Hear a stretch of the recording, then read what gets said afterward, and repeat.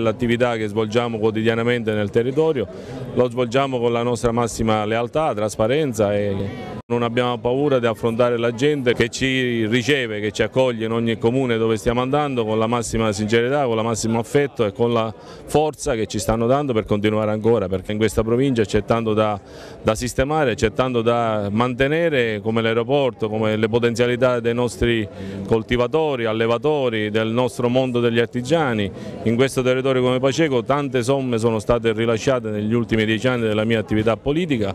non per ultimo il rischio idrogeologico del Rocche Palumere, non per ultimo questa bellissima scuola che è l'esempio diciamo, dell'opera mussoliniana del passato che si apre la scuola a Paceco è anche un mio merito dovuto a finanziamenti raccolti negli anni passati, quindi penso che anche qui come Paceco come nelle altre comunità dove siamo andati a girare sarà anche il giorno 6 a festeggiare assieme a me questo grande evento e questo risultato politico che portiamo avanti da dieci anni.